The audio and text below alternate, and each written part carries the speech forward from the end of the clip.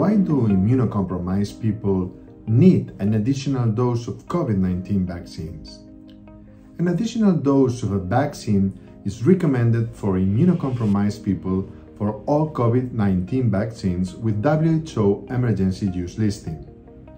Individuals with immunocompromising conditions and those receiving immunosuppressive therapy often do not develop an adequate immune response to a standard primary series of COVID-19 vaccination.